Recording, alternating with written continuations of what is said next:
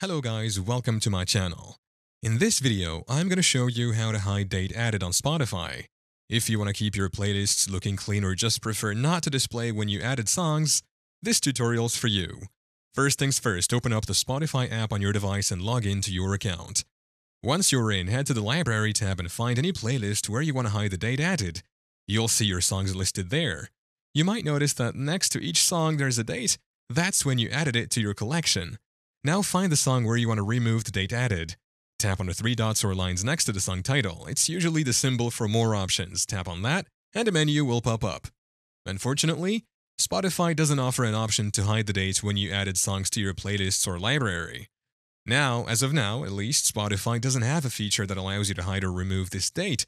It's there to help you keep track of when you added your favorite tunes.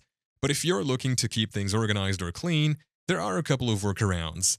One option is to create a new playlist or library section for your songs without the date added.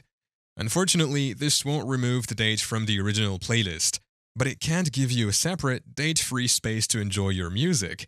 So, while you can't hide the date added feature on Spotify right now, there are ways to organize your music to suit your preferences.